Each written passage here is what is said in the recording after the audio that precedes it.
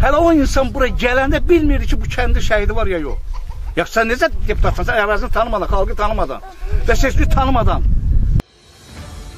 Kanalımıza müraciət edən Cəllabad rayon Mikayelli kənd sakini Nağıyev Fərman Böyükxanoğlunun sözlərinə görə kəndlərində qaz, işıq, yol infrastrukturunun bərbad və baxımsız olduğundan və Cəllabad rayonunun 78 kəndində mavi yanacağın yoxluğundan şikayətlənir.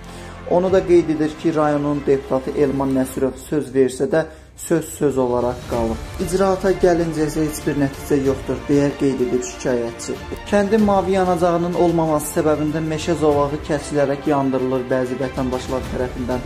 Dəfələrlə keçmiş icra başçısı Namiq Zeynalova şikayət etsələr də kəndin problemləri öz həllini tapmayıb. Kənd sakinləri səhhətlərində problem yarandığı halda 32 kilometr yol qət etməlidirlər ki, onlara yardım göstərilsin.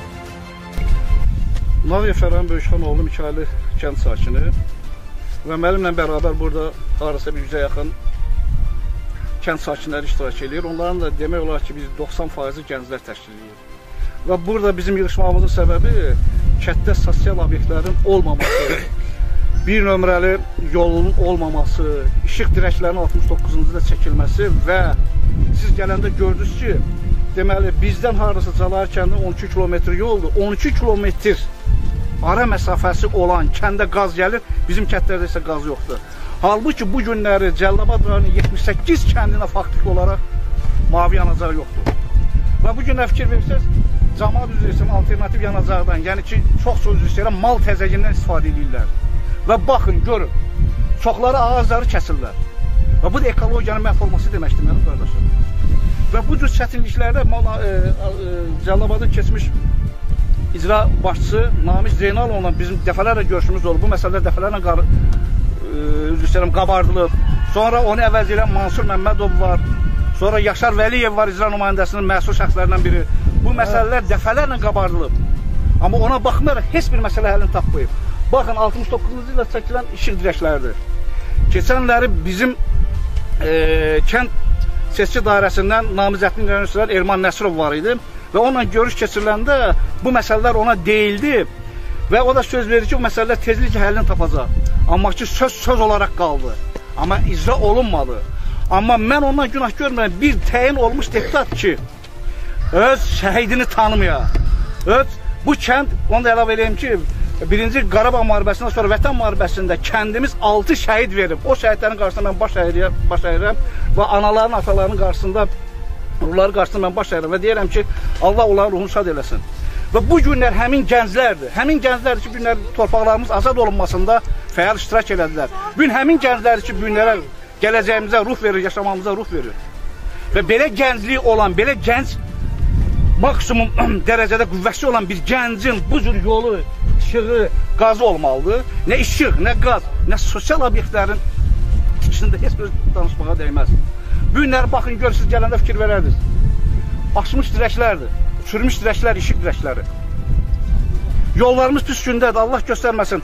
Əgər xəstəmiz olacaqsa, onu 32 kilometr buradan Cəllabad rayon mərkəzi xəstəxanasına satılmaq çox çətindir. Çox çətindir. Çünki tip obyektləri yoxdur. İlkin yardım göstərmək üçün bizlə Xənəcə arasında 6 kilometr yarım məsafə var. Orada şükür Allah böyük bir xəstəxana idi. Kiçiklər elədilər qismət. Amma siz bu kəndin qarlı vəziyyətini görməmisiniz. Əgər qarlı vəziyyəti olanda təsəvvür eləyin ki, buradan 2 kilometr kənarda dağıb çıxmaq olmur.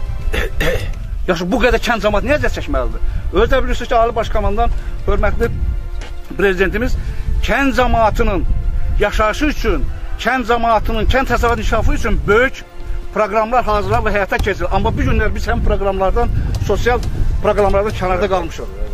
Özdə demək istəyirəm ki, kənd cəmatı, kənd cəmatı İranla Sərhəd kətdə yaşayır, amma Sərhəd kətdə yaşamağına baxmayaraq bir, e, mən deyərdim ki, ümumiyyətlə önəm verilmir.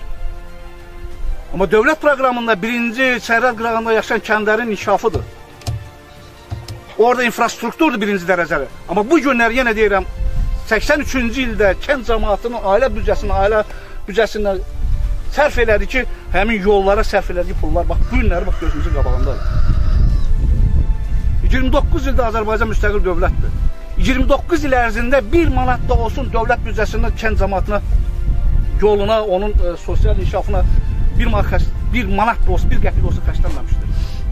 Amma sağ olsun, sağ olsunlar ki, kənd cəmaatının birliyindən sonra kəndimizdə Heydər Əliyev fondunun hesabına gözəl məktəb tikildi. Yüksək, mən deyərdim ki, Avropa standartlarına uyğun məktəb tikildi. Biz buna fəxr edirik. Amma gəlin nə elədilər? 9-cu sinifə qədər burada təhsil ala bilər. 9-cu sinifə qədər. Niyə? Çünki bilirsin nətədir? Onun niyəsi də icra hakiminin və orada maraqlı olan qüvvələrin məqsəd məqsəd yönlüdür. 9-cu sinif qutaran şagird bu günləri 5 km kənarda getməli orta məktəbə, təhsil almalı. Burada gənclərimiz var. Yəni gənc qızlarımız var. Təhsil almaq istəyir, cavanlarımız da təhsil almaq istəyir. Amma yol olmadığına görə, şərait olmadığına görə onlar yenə deyirəm, inkişaf edə bilmirlər. Təhsil ala bilmirlər. Bu günlər deyirlər ki, e, e, qızlarımızın az yaşlı qızlarımızın ərə verilməsi və və sair problemlər, narkomanın baş alıb getməsi, bəs yaxşı bu günləri təhsili olmayan xalqın gələcək ola bilərmi? Bu mümkündür. Birinci hər şey biz təhsildən başlamalıyıq və təhsil problemimiz də həll olmalıdır. Qaz, işıq və yolla bərabər. Mən açıq deyim ki, birinci Qarabağ müharibəsindən sonra, ikinci Qarabağ müharibəsindən, Vətən müharibəsindən sonra üç şəhid vermişik. Biz həmin şəhidlərin, yenə deyirəm, olan ruhu qarşısında mən baş əyirəm. Allah bütün şəhidlərimizi rəhmət eləsin, qazilərimizə can sağlığı versin və Allah qorusun deyirəm. Bu günləri, bu günləri bir vətəndaş olsun, bir kənd cəmaatı olsun ki, onun şəxsən şəhidin üzründə iştirak eləmən heç kim görməyib, heç maraqlanmayıb da. Gəlin. Mən sözün əvvəlində dedim ki, o seçilməyə gələndə, seçilməyə gələndə bizim kəndimizdə 3 şəhid var idi, yəni birinci Qarabağ müharibəsində. Hələ o insan bura gələndə bilmirdi ki, bu kəndi şəhidi var ya yox.